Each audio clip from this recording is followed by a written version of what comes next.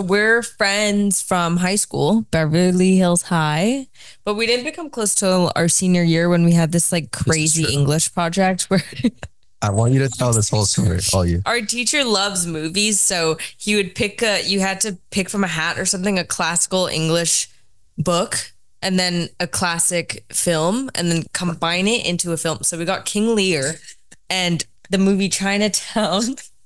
And then you had also got a random prop that you had to combine into it was it was bizarre. Extremely convoluted concept, and what most people ended up doing is they would just take the names from one of the movies and apply it to a sto- one of the stories because it, it was it was too hard otherwise. But continue. Wait, wait. So you took a book and a movie, and you had to Yeah. do what with those then two? you have to write your own script, In- combining the films and the book and the book, and then this random prop. I remember, and then we all had to act, and then all had to produce and film and you had to make a feature film. It's like a It was mutated hybrid 10, film. 10 minute you had to make a film at the end of the day outside of the combining two separate stories. Yeah. Separate. they had to be a movie and a book. yeah. There were already stories and written and Yeah. published, and then you had to make okay. And then we had a little Oscar ceremony called the Rubies because our our teacher was named Dr. Rubenstein, and we all had to come in like black tie attire, and then we all it was like a whole thing, and he had imagine? and he had past students come and like read out the winner is. It was Trev, could you imagine like if you had an award show naming it the Trevies or something like that? I was like, this is so narcissistic. Love you, Dr. Rubenstein, though. He, he was a great teacher. But, But yeah, that's fun. when we got close, and then and then yeah, and then we've just been close ever since. Beverly Hills High. My only history with Beverly Hills is playing football against them. You We know, sucked. Malibu High versus Beverly Hills. Yeah, I th- most people would probably assume that Beverly Hills isn't a powerhouse Yeah. in football. We were really, really bad. we we lost all our good players back like 10 15 years ago when they got rid of permits so the malibu beverly hills game might have been the worst game in all of west la i would say But was Malibu good? No. no Oh. beverly was Similar. the worst Beverly was so bad. I was in marching band, so I had to be at every single one of those games. Wait, wait, you were like, what was your role in marching band? I played clarinet. I marched every Friday. It was and it was it was kind of sad because our team sucked so bad. It was like we couldn't rally up any morale, you know. But So you were like pretty cool in high school, is what it sounds like. she was cool bro marching band and dance, so like it, it balanced. Okay, so it equal out, it equaled out. Okay, Yeah, but the marching band that was that was a time. but that's a lot of time to dedicate. Yeah, it's a lot of time to dedicate to that. Yeah, So you were like all in on marching. yeah. Well, oh my god. Like, but where did it? But where did it start? Like, were you like in high school? Like, this is you just like the music part, No, or okay. You know how you like being part of it? Like, were you, were you like, like it was like a social group where you hang out and you party? Oh my god, like those kids, like the band kids who like get all like just crazy and shit because you know you're like, oh, we don't really know what they do. They're like not athletes, but like they throw out You know, you know what I'm talking about? It's like you know when you're in sixth grade, when you're fifth grade entering sixth, they make you pick an elective. I picked band because there was a really cute boy that I really liked, and he was choosing band.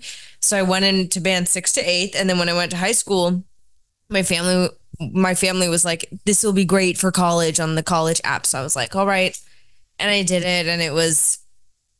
I mean, we went to London. Like we were a good marching band. We got invited to perform in London on New Year's, and then we performed at Disneyland. You know, have you been to Disneyland and you see the bands? yeah, I'd say choir as like I had taken art at one point in, in high school. I took choir. Yeah. That was the only one that fit in my schedule. Mhm. And then uh, we were supposed to go to Disneyland on a Friday. And uh, as like a for this competition or whatever, Yeah. jamboree of sorts, and um, I had a baseball game on Friday too. And I told the teacher, I was like, the choir teacher, I was like, I'm not going to this fucking Disneyland shit, dude. I gotta go play baseball. All right, Right, like we have some serious business. Oh, We have some serious business to handle on the baseball diamond. Nah, okay, he made the right decision you got to be with the you boys. guys, you can imagine. I mean, you know what? You know why it was such a loss for her and the rest of the choir? because you I were think I so was- good. That was the only natural bass, technically. Mm, what but you never would have heard the end of it from your teammates if you left Exactly. You kidding me? Like I can, I can hum and That's social I can be a you know natural bass from the dugout. I can do that. But yeah, wait, what was the other place you said it wasn't Di- Disneyland and what else? London. London. Yeah. So did you guys get all like? I mean, you know, so what? You didn't answer the question. Are, are the band kids like the crazy marching band? Like, are they as You know, They're pretty rowdy. I knew it. They they had fun with like amongst themselves, and I'll tell you, there was so much band drama. The amount of, I mean, band kids are feral. They were like the most feral kids in all of high school. Yeah, it was crazy. They would be making out in all corners of the place. It was crazy. It was fun. I didn't partake, but you know, it was. It was. Did you have any like disruptive class members that you remember that you like? You know, you know, like the good kind of disruptive ones. Oh, yeah. The ones that you don't know what I'm talking about. fun? Like a funny kid who like just kind of bothers the teacher a little bit. Oh, dude, the the funniest thing my friends and I would do in high school sophomore year, we had we had you, everyone had to do an elective, and we were in the acting elective that produced all the You were. theater uh, productions. I can't act to save my life, so I was on the tech side helping build things with my friends. And you know, we, we were pretty solid, so we'd finish building our things for the day, and then we'd have twenty minutes of class. This is, mind you, eleven a.m. on a Tuesday and we would just mess around and we would go din don ditch our friends in other classes and then just run away and we didn't actually get caught so it was really fun that was that was good times That's so. Funny. Ding dong ditch is a ding dong ditch is a good prank. A solid Frank. Like it's it's it's um it gets the job done, but it doesn't harm anyone. We would but like it gets the job done. take it a step further we would open the door to and scream his name and then run away. I feel like I remember that. yeah we we Didn't would you do used do that to the Chinese class? Or we we did it to multiple classes. There Mm. was no like d- discrimination. we did it to any open classroom at the friend. That's fun. yeah, he, he wants to clarify. Here's the story. Just any class with a friend. Yeah, one of them was every sort of class. math, English.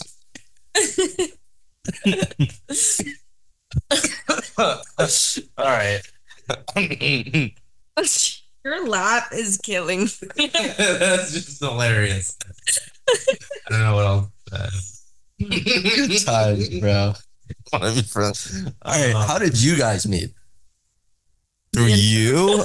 That's No, but I for- like I forgot. how. Um, I don't know. when um you Bungalow. picked me up from bungalow. Yeah. Yeah, that Yeah. was fun. What Yeah. was um what was your first impression of Trevor Shireen? I mean, it was dark in the car. Like it, was, it wasn't like we were like meeting, like shook hands and like eye to eye. It was like I got. Are you a Are you a hand Are you a handshaker? Yeah. You have a good handshake. I think so. I can't remember who said this. I shook somebody's hand and, and they said I have a strong grip. okay, now that I've said that, now that I said that out loud, I'm No, it's like, just funny. Like, it's just, you know, when he goes, just good handshake, like, is it like an old man or something like that? no, it's a boy my age. Like, Oh. no, he. I don't think he said strong grip. It was a strong handshake. Maybe. Strong, Okay, you have just can't just like paraphrase it. Like, No, yeah, strong grip and by something else. I think. Are you guys a hug or handshake with the opposite sex when you first meet them, or do you? Play? I uh, like hug. it's, yeah, it's, it's yeah, it's less less weird than a handshake, honestly. yeah, It's weirder. No, a handshake is like it's like it's weirdly formal. yeah, yeah, you know what I mean? Like Yeah. just, yeah. I had a really embarrassing moment actually, literally yesterday. Um, I was at the gym with my pal Jacob, um, recurring guest on this podcast, of course. Yeah, he was actually on last yesterday. oh, great! Yeah. we'll have to check it out. Yeah. Um, so we were at the gym and in an area of the gym that was pretty dimly lit. And this girl comes up to him and hugs him and like clearly is friends with him. They knew each other. And I didn't fully recognize her at first. So I just put my hand out and shook her hand. I'm like, hey, I'm Isaiah. And she's like, I, I know who you are. We've met multiple times. And I was very embarrassed. And I just said, Oh, well, it's the light. You you look a lot better in this lighting. And the lighting was really dim. You said that. Why did you have to make a comment so on how she Way to looked? double down. It was it was so embarrassing, and then um she was really cool about it, and then Jacob and I were laughing after. I'm like, wow, I looked really dumb in that moment. Yeah. Yeah, gym. A gym hug is kind of we. It's kind of a tough. It's kind Yeah. of yeah. It's better to go for the handshake. It's handshake just tough there. when someone remembers you and you don't remember them. I was like, It's a huge insult. Damn it. it's so offensive. I didn't feel great. Not one of my finest moments. But, you know, I think this podcast is a good place to be vulnerable, discuss things that you might not with other people. And then also you can uh, you can have fun when you talk about some of your wins. Yeah. Have you had any wins recently, Shireen? In, In- life. In in life? Take this wherever you want. A good new record. Not on since being end. in marching band. Actually, had a, I don't think you could win more than when what those kids were getting up to. after I heard that, I was like, "That's champion." I don't know if I can think of anything, I'll be real. Which is kind of sad, but I mean maybe something, but I I don't I have a I get worried about jinxing things, you know what I mean? So I'd rather not Mm, say it before um I feel that. You You know, know? Shireen's actually an actress, Trev. I don't know if you knew that. Of course you know. I, of course, I knew that. But I the knew pod that. doesn't. Yes, Well, fair, yeah, fair. Why don't you tell, Tell the our, yeah, tell our guests, tell our guests just about that. About about it. Yeah, about it, about acting, about you know what it takes to be, you know, to have that it factor. You know what I mean? Oh my god. That's that's I mean charisma, I guess. Charm, I think I think it's a big thing where beyond acting skills, obviously you have to be a good actor, but I always think about this about how there's certain people who you can envision being good at doing like a late night talk show and people who wouldn't be and I just feel like that's sort of like what I think of as like the it factor. You know what I mean? To be like a star. Cause yeah, but it's hard. I'll be real. It's really hard, but I love it. So I keep doing it. But people don't realize how hard it is. It's just so much rejection over and over and over. And that's why I feel like people should only get into it if they really love it and can deal with a hundred rejections, you know, over and over. That's real. So yeah, but it's really fun. Yeah. Real talk. If you so if you could star in a movie with any actor or actress, I have thought about this myself. It's great Wait, question. have you? Yeah. Okay, what's your answer? Jack Black. You guys would crush as a Yeah, we comedy would duo. kill it in some sort of That's Did you a, that's an answer. Think of what. I don't know, I the just thought- composition of the film would be. I don't know. Maybe like your your Minecraft. He could student be like, a, yeah, student. He could be like my professor. Like he could, he could be in that role. I'm thinking, you know, kind of how, like how he was in School of Rock, yeah. but more of like Mm. senior, more of like fatherly, like avuncular kind of like Robin Williams, you know, like that kind of Yeah. vibe and Good Will Hunting. That would be great. You know, I would. watch Yeah, that. so serious thing. like a little more, but like also kind of funny too. Okay, Jack Black, I could see him back in. I could back in see like you a guys, professor like- role, like he's my professor. Before it's too late, so maybe father and son. that would be that'd be really sweet. Honestly, we go on like a road trip, I that would be so cute. or we like live we're like live in the city or like something like that. I don't Yeah. know. You ever I see that. Tropic Thunder? I have seen it. That's I could imagine. I gotta rewatch that. Maybe like a a fifth character that was just a young a young kid there, and Jack Black is a terrible influence on you. That could also be pretty. Fun. I like that. I like that. Yeah, I could be in a role where he really negatively influences me. I would like that. I think that would be a good role for me. Yeah. You would Not one play where that. like I grow as a character and like I have like a whole arc. One where like I have a whole downfall. yeah. yeah, Yeah. So what about you? I think You have a lot of time to think about this. It's hard. There's so many. Like probably Florence Pugh. Mm. Mm, She's my a good favorite right now. Um, but I'd also love uh, Paul Mescal. If anybody's seen Yeah. his work, I the only Paul Mescal interaction I had was my first job out of college at CAA. I was doing a reception for a bit, Mhm. and he called, and I had no idea who he was. And my friends were like, "That was Paul Mescal." I'm like, "Who?" he's so cool. I love him. He's great. I mean, he's gonna be in Gladiator. He's Oh, that'll be big yeah. for him. That's sick. Yeah, for sure.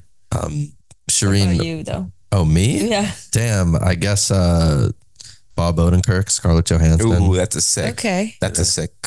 Yeah. he would. He would just be so cool. Yeah. Angelina Jolie. That'd be a pretty cool hmm person to act next to. Um, did you hear Florence Pugh's coming out with that Andrew Garfield movie? That Yeah. it's gonna tear people's hearts I out. think it was sort of recency bias because I just saw an Instagram video before I came here. But now that I thought about it, you know who actually would be the biggest dream? Ke Huy Quan.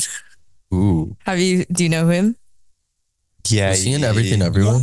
He's my favorite. Yeah, yeah. He's like just such a sweet won- man. Like he, what? he won an, an award. Yeah, he won the Oscar. I'd love to be his that's- daughter. That would be great. In a in a future movie. Yes. Okay, cool. Yeah. Not like in life. Not in real life. I mean, sure, in real life, I guess. you go. The role that I want to play is is the daughter. You're Yeah. like, I'm gonna be his daughter. I, I'd love him to be an uncle, Context, like Serena. a godfather, maybe. I Like, that'd be wanted to adopt me. Yeah. but yeah, he's a wholesome man. I love that. Yeah. But yeah. That would be so great. What about um all right, you can be in any current TV show right now as a new character and you can pick your role. What show are you choosing? White Lotus Steamy. or Euphoria. Because I know they're, I mean, they're doing the new season. Or it would That- be that fun would if be it sick. ever gets made. Yeah. I think it will. But that, those, Be a troublemaker in Euphoria or someone who kind of brings a calm in the storm. I kind of want to be a troublemaker. I want to be like a villain or something. Well, that won't be too hard to act. No, it wouldn't be. Truly, it wouldn't be. but yeah, it's always more fun to play like a troublemaker than just the straight character, you know? I can't act, so I actually would go with the safer one because if I tried to, do Okay, yeah, but just in terms Wait, of why don't you think you can act? Yeah, I've I've acted in in a, a movie before that was made by my friends and I. It's actually on Amazon Prime. It's over an hour, and we all came to the clu- conclusion that I'm not a good actor. well, you you've never had lessons, so you can you can develop it. Thank you. Maybe maybe one day. Um, Trev, what about you, bro? Acting? Yeah, It's a very You'd natural into it? extension of a, Yeah. a comedian. yeah. I did. I've done. I did a what's it called? Some acting class in New Oh, York. wait, you did? a couple. It wasn't like at a, a formal place, but it was Oh. at. It was through like. I mean, it was like a class, but I It just was like at a studio. Yeah, yeah. Do you like know the name of it? it's called the Producers Club. Okay. I don't remember. It was just like a place I did comedy, and they were like, Oh. they did a class as part of the place. How So do you like that. it? I liked it. It was fun. We did You like a, we did like a tape. We did a self tape. Okay. Yeah, it was like a, it was what it was really. It was just like a mock self tape class Mm-hmm. kind of deal. So I memorized the sides. It was fun. I Yeah. had all do all these different things, and the teacher was like, he was like a good dire- like he was he had good direction. He was helping Mm-hmm. the students. This show just ended, but you would have been really good as a cameo in Curb as a young character. Oh my God. dealing with Larry. Like, I I missed out. see you. be like you guys get in an argument about something and you stand your ground to him, even though you're 50. I would have liked to have been. Yeah, I should collab. I should be in something with him randomly. Yeah. that. Would be I think that'd be a good idea. Be a good, he should play my grandpa in something. Oh, that would be. That'd good. be fun. Yeah, he should play my grandpa. You guys would bicker. Yeah, it'd be healthy comedic bickering. yeah. I'd also I I met him one time Tell and us about that. I'm I met him and I cried after because Larry David is my idol. He is like I I am obsessed with Larry. Join And I had club. such a good experience with him. He was so nice. We took a picture. It was it was really great. I should have and he was actively filming. I should have said something. I was like, let me say something. Let me be in it. But Where, where was this at? it was at Westwood directly next to Boiling Crab because I was eating at Boiling Crab. And I was like, what are they filming next door? And she was like, Curb Your Enthusiasm. And I was like, no way. Because that's one of my favorite shows ever. So funny. You know what? Curb is, I'm realizing, such an LA thing. And people outside of LA Incredibly. don't, it's crazy because I have it in my hinge prompt, one of them, because I think it says a lot about a guy if they liked similar shows as you. And I'm not going to put like the most common shows that everybody likes. So I put Curb, and a lot of people are like, a lot of people are like, what is that? Or like, You know why You it's know? an LA thing too is because like you'll be surprised when someone who's not from here doesn't fully get it or like watch it. You're like, Yeah. oh wow, like what? Like I thought everyone like I had some friends on the East Coast that watched it in college, uh huh. but like yeah, it just doesn't. It doesn't. Coast makes more sense, but I think a lot of people like Midwest or like some like places like that, they just they don't get it. They don't get the humor and like yeah, yeah. What I love about Curb, so many things, of course, is the humor is great, but there are inside jokes such as when he's talking about the best shortcut to get from the valley to the That's- 405.